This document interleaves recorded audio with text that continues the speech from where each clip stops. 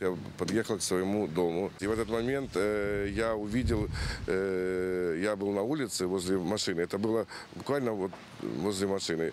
Э, на меня бежало э, громадное, громадное черное тело, такой мужик. Он был в маске, и э, у него был пистолет э, в руках. И он э, вот так вот прикрывал лицо в черной шапке и кричал только одно слово.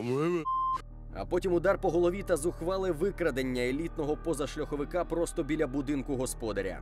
Он меня ударил пистолетом в голову, у меня расчищена голова. И по- он сел в машину, овладел моим автотранспортом, и он уехал. Нальотчик дав по газах, поки господар не отямився. Щойно жертва повідомила поліцію. В місті оголосили план перехоплення. Наздогнали викрадену автівку в одному зі спальних районів Дніпра. Вот тут здесь он по этой дороге спустился вниз, возле гаража здесь внизу, развернулся, понял, что тупик, и начал подъем обратно. И вот здесь он побил машины, ви- видно, обломки машины. Кричал из машины, что у меня находится в машине оружие, которое я буду применять. Аби затримати злочинця, на підмогу оперативникам прибуває патрульна поліція і відкриває стрільбу. Он э, не останавливался и пытался совершить наезд на сотрудников патрульной полиции, на наш, на нас наезд совершал. После этого сотрудники, по, согласно закону статьи 46, открыли э, и применили табельное оружие. Копи стріляють по колесах, затримують і надягають на злочинця кайданки. Опа. Пойдем.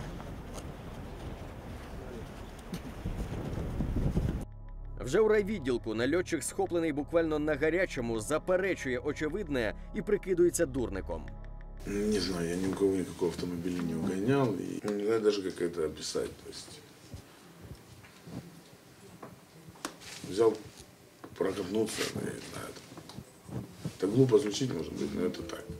У поліції твердять, угонщик входить до цілої автобанди. Саме він і вивів оперативників на організатора угрупування. Ну, они как бы там все известны в криминальной среде, в том числе и организаторы группы. Пойдем. Відомий в кримінальному світі авторитет сколотив групу і вже тривалий період часу промишляв розбоями. Они причастны к преступлениям на территории города Днепр, Днепропетровской области, а также других областей на территории Украины. Наразі правоохоронці встановлюють всі розбійні епізоди діяльності банди, а зловмисники чекають своєї долі під арештом. Все участники группы, им избрана мера пресечения арест, они находятся под стражей без, внесения, без возможности внести залог. За розбійний напад з заволодінням елітного позашляховика затриманому угонщику світить до семи років тюрми. Якщо доведуть його змову зі спільниками, максимальний термін ув'язнення сягне 15 років.